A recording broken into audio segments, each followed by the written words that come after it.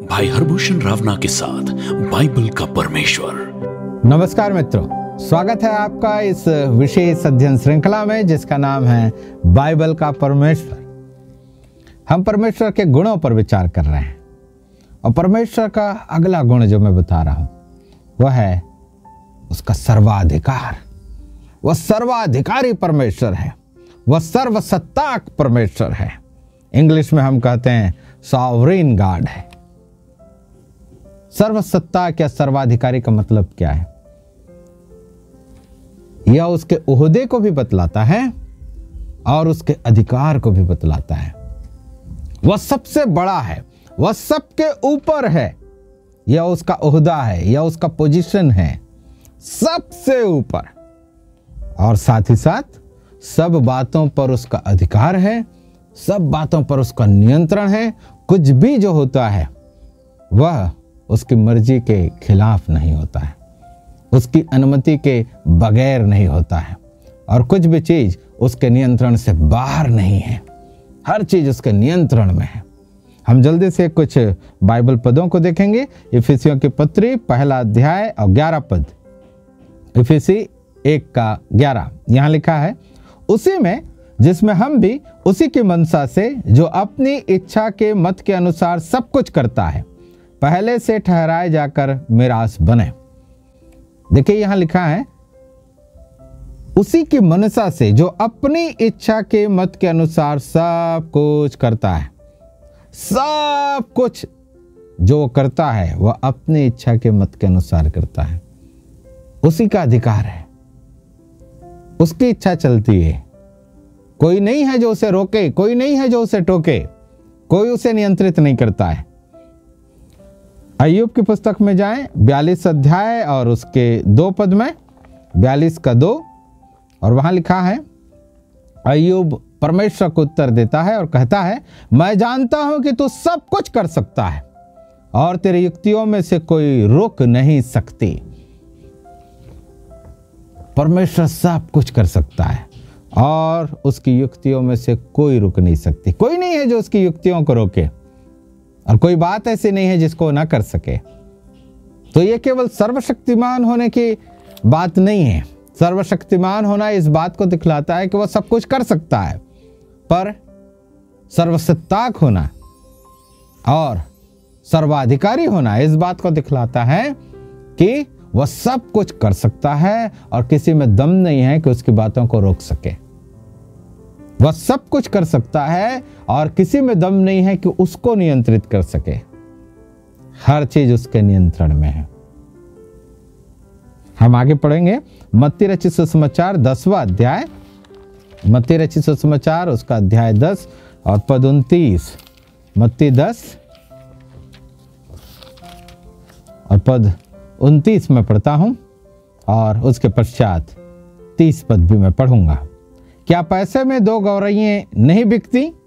तो भी तुम्हारे पिता की इच्छा के बिना उनमें से एक भी भूमि पर नहीं गिर सकती। प्रभु यीशु मसीह इस बात को सिखा रहे हैं। ये परमेश्वर का नियंत्रण है। गौरैये, जिसकी कीमत कुछ भी नहीं है छोटे छोटे चिड़िया हैं ये। यीशु मसीह के समय में एक पैसे में दो गौरैया बिक रही थी। बहुत सस्ता कीमत है। लेकिन यीशु मसीह कहते हैं, इनमें से एक भी पिता की इच्छा के बिना भूमि पर नहीं गिरती। और फिर तीस तुम्हारे सिर के बाल भी सब गिने हुए हैं। सिर के बाल भी उसने गिना है, वो भी बिना उसकी अनुमति के कुछ नहीं होगा। इतना नियंत्रण है, उस सर्वसत्ताक परमेश्वर का इतना नियंत्रण है, मामूली चीज़ों पर, जिन पर हमारा ध्यान भी नहीं जाता है, उसका नियंत्रण है, वो सब कुछ जानता है। और वह सब बातों को नियंत्रित करता है। हम विलाप गीत के पुस्तक तीसरे अध्याय में आए। विलाप गीत अध्याय तीन। और वहाँ पर परमेश्वर के इसी गुण पर फिर से चर्चा की गई है। विलाप गीत अध्याय तीन। अध्याय तीन का पद सैतीस थर्टी सेवन यदि यहवा ने आज्ञा न दी हो, तब कौन है कि वचन कहे? और वह पूरा हो जाए। विपत्ति और कल्याण क्या दोनों परम प्रधान की आज्ञा से नहीं होते? विपत्ति और कल्याण क्या दोनों परम प्रधान की आज्ञा से नहीं होते? चाहे अच्छाई आए, चाहे बुराई आए, चाहे आशीष आए, चाहे श्राप आए, उसकी आज्ञा से ही होते हैं। दोनों चीज़ें उसके नियंत्रण में है। आशीष और श्राप, भलाई और बुराई। जब तक परमेश्वर किसी को अनुमति न दे, वो आशीष पा नहीं सकता। जब तक परमेश्वर आज्ञा न दे, श्राप किसी पर आ नहीं सकता। नियंत्रण है उसका। हर एक बात पर। फिर हम नीति वचन सोलह अध्याय और उसके तैतीस पद में आए। नीति वचन अध्याय सोलह, पद तैतीस। और यहाँ, सुलेमान। जो सबसे अधिक बुद्धिमान पुरुष था, वह लिखता है, चिट्ठी डाली तो जाती है, परंतु उसका निकलना यह हवा ही की ओर से होता है। हम जानते हैं, उस समय कोई भी बात को जानने के लिए चिट्ठी डाली जाती थी। पाँच लोग हैं, पाँच में से यह चीज़ किसे मिले? पाँचों का नाम लिख के डाल दिए। और जिसका नाम चिट्ठी डाल के उठाएँगे, उसी को वो मिल जाएगा।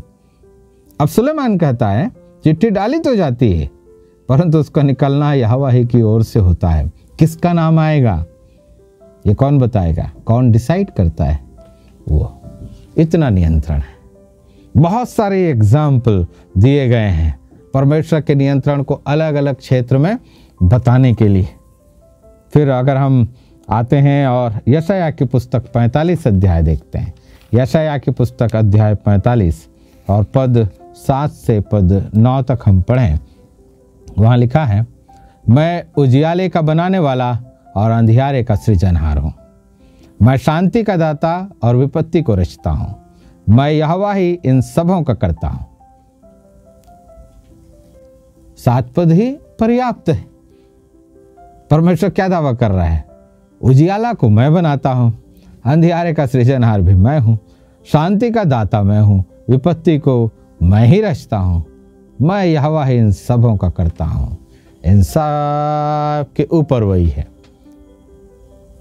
इन सब चीज़ों पर नियंत्रण उसी का है।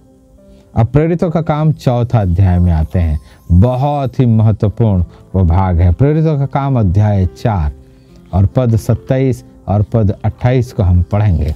प्रेरितों का काम अध्याय चार।